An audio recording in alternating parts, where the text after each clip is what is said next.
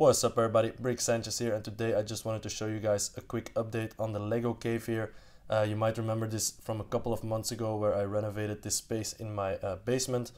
Uh, but since then I haven't done any updates. Now a lot of things have changed already uh, a couple of months ago already but I never really found the time to get this, this room cleaned up and ready to film so now we did that. And if you're wondering where this room is, let me just back up a little bit down here. On the right side we have the city room so yeah that's the city room and then on the left side we have the door to the cave here. All right now first off i will just quickly 360 pan around the room here. So you can see everything. Let me see we got the back there we got the new billy closets in there. We got that awesome little star wars display there. Some other stuff down here. All right now one of the biggest changes we have in this room are those billy closets in the back there. Uh, so yeah those make the room look a lot better already much better than those metal shelves we had. Uh, and these cover up the tank in the back the pretty big tank uh, completely. Now we also just had enough space up there as you can see to put in some Funko Pops and stuff. So I'm really really digging that. Now some other stuff that you will be seeing a lot is those Star Wars cardboard advertising uh, thingies down here and the left side there as well. Those were part of a, of a lot that I bought from somebody who had a lot of advertising stuff from the Phantom Menace and, and everything. So that was pretty cool. So I got that and I think it looks very, very cool in the room. But either way, we'll take a closer look at that right now. First off, let's start off with this left section down here. All right, now starting right above the TV here is a shelf that we didn't have in the last uh, update. So yeah, let's have a little look. This is uh, completely Marvel inspired. So yeah, we got the skateboard, Silver Surfer skateboard down there. Uh, we have the bridge battle here with this old school uh, tram from the 2002 sets and stuff from the Sam Raimi movies. Now we also have a lot of other things. We got the Mighty Micros here. We got some Funkos as well. So I'm really, really digging this now. Lots of these planes and everything and, and like the car out there and stuff are things that I would love to include in the city eventually to have them hanging and flying around in the city. But until then, I'm going to keep them on here. Uh, but yeah, then underneath there we got the Ecto 1. We got that Batmobile just the same as last time. Underneath here we got almost the same stuff as last time. Those little uh, little minifigure stands have been moved down here. Not sure if I'm gonna keep them there. Uh, we got the television here, of course, with the logo on it. Uh, so yeah, let's take a look at the Star Wars section. Alright, and on the right side, as you can see, that little portion down there uh, is kind of Star Wars uh, related uh, mostly, uh, but I still want to get in a plank on that height down there, and I also need to have another plank right right above the display cabinets just to display some more um, ships on there and stuff because you cannot put any weight on the cabinets themselves they're gonna start to bend down and stuff. Now on this side we have this pretty cool old republic display. This one lights up. It's not really visible right now. Uh, then out here we got some some more technica type of builds here. Uh, we got the old Jango Fett down there as well. Pretty pretty cool. The Grievous here a very very nice one. And then we got some of those cornflakes boxes in the back as well. Those came with like a little statue. These are from like 1999 or something. Uh, so either way very very cool that was also part of that uh, lot of the guy that I bought uh, all of that Star Wars stuff from. Then out here we have this Venator, very very cool. Uh, then we got the Vikings down here. We got the Atlantis one down here, but this is very very unfortunate that it broke during uh, shipment. So uh, during the shipping it got broken, and I was looking for some ways to fix it. I'm not sure if anyone has any idea how to fix that. Please uh, let me know. And down here we have this very very yellowed old Star Destroyer from like 2008, I believe, something like that. We also have a TIE Fighter, some of these uh, walkers here as well. Got that little frame there, the 20 year anniversary. Then out here we have a little MOC of mine, uh, a Hellraiser MOC, which I'm gonna tear apart. Uh, the pillars used to turn around, they don't work anymore. Uh, but either way, it's that little scene from the first Hellraiser movie. Not sure if anyone is familiar with that. Then uh, this is very, very, a very awesome uh, little display piece that I got from that same seller as well and I just thought I've put I'd put everything on here that I have from the Phantom Menace. I mean, I have some other stuff as well, but I thought this one with Qui-Gon Jinn and Obi-Wan would be the most uh, memorable. But uh, either way, then we also have this very cool, uh, like movie theater pillar type of thing, or for a, it's like for a game, I believe. So, but very cool with those pod racers. Alright, and here we have the other side of that pillar with a particularly creepy Darth Maul, uh, Obi-Wan and Qui-Gon Jinn down there as well. Then we got some sorting cabinets down here. Uh, we got the wheel of what you built periodic table of the Lego colors. Now this is a very cool little item. Uh, either way on top here we also have some more uh, sorting cabinets and stuff. We have some plant pieces on there in those jars. So uh, very very cool. Now I still have to reorganize this entire section as I'm expecting a new billy closet, the same one like that. It's gonna be squeezed in between those two. it's all gonna move and this little plank is gonna be cut off a little bit. Um, so yeah but I'll save that for the next uh, man cave or Lego cave update. But here I got this map with a lot of important papers like the orders from Lego and stuff. Some more cabinets out here. We got some very random stuff up top there that I still have to organize and put somewhere nicer then on the right side. We also have a lot of cabinets we got some of these little boxes as well. This one has the minifigure parts like head heads and arms and uh, and hands and stuff so yeah.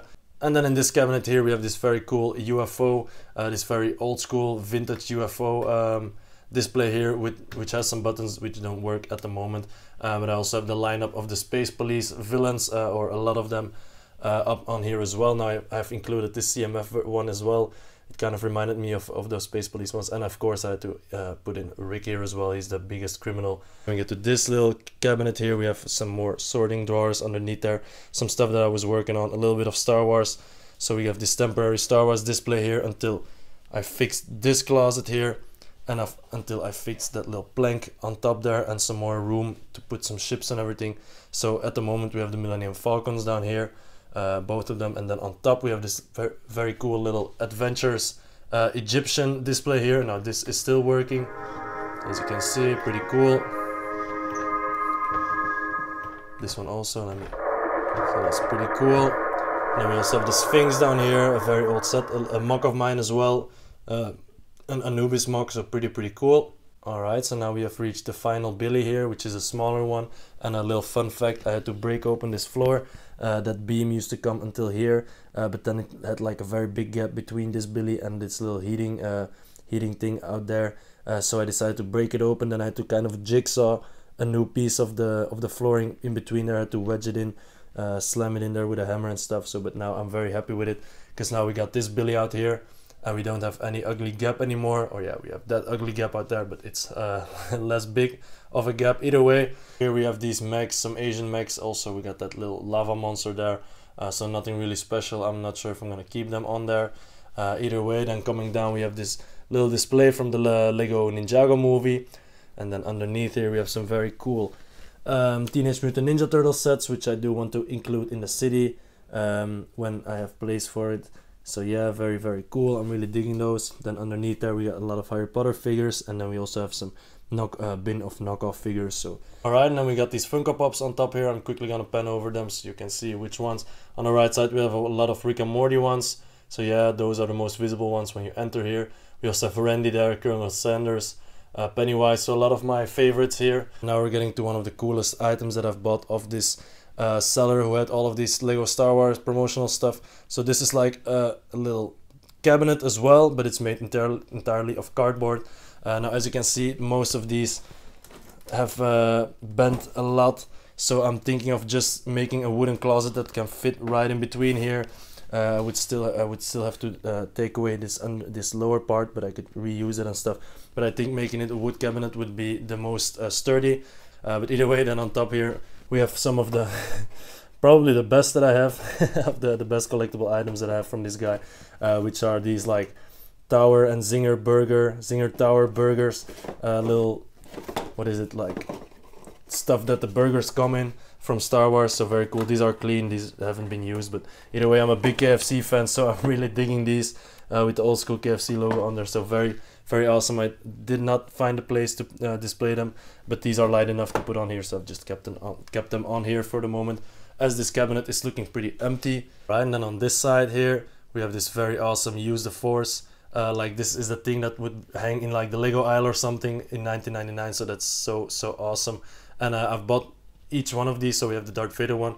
We also have the Darth Maul one out here. It's a bit too light on there yeah.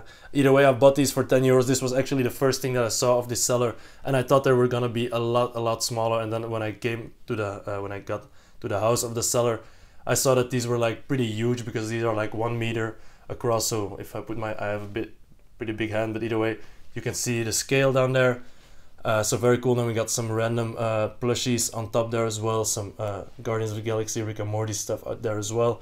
Uh, but either way i'm really really digging those then out here we also have a very cool display. So this is a mix of like a lot of teams and stuff. We got Technic, we got UFO, we got Adventures. Uh, I believe this is Castle. or with those like special, uh, I'm not sure how they, Fright Knights or something. Then we also have the Extreme Team, some of the City Racer stuff, whatever. But these were promotional with Shell, Lego Shell uh, items that you could get, and this is like the display of it, so very, very cool. I bought this for a very cheap price as well. Underneath these uh, signs and stuff, what we have here is my backlog. So uh, this is a backlog of some stuff. It's not really as impressive as I've seen lots of uh, you guys on Instagram and stuff. Uh, but either way, we also have this little, like uh, Chinese, little uh, display there as well. And then underneath here, I've put my light kit uh, backlog. So I have a few of those. I still have to install these Winter Village ones. then this one is for the train. this one out here is for the Disney Castle. It's, I already installed that one, but I have one a few more light elements in there. Then we have this treehouse here and the Hogsmeade Village one. This is the first one I'm gonna do now. Uh, but either way, then out here we also have some of these character packs. Uh, so yeah, alright, now we're getting to these cabinets here, which are now lit up, which wasn't the case in our last update. So then we have the Iron Man area out here with lots of suits. So pretty cool. We also have that little Infinity Gauntlet there, or Nano uh, Gauntlet, I'm not sure what the one Tony Stark uses is called. But either way, underneath here we have a little Harry Potter section with some old sets looking very very naked at the moment very um, bland so not really really cool.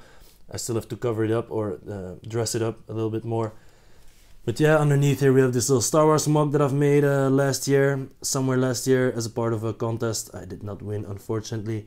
And then underneath there we also have some brick heads which are placed very badly. And then in this other closet we have this Stranger Things set here which is still one of my favorites. Uh, when you enter the room this is one of the first things you see. Now I still really have to get the light kit for this one. It also has some cool uh, light uh, sound effects and stuff.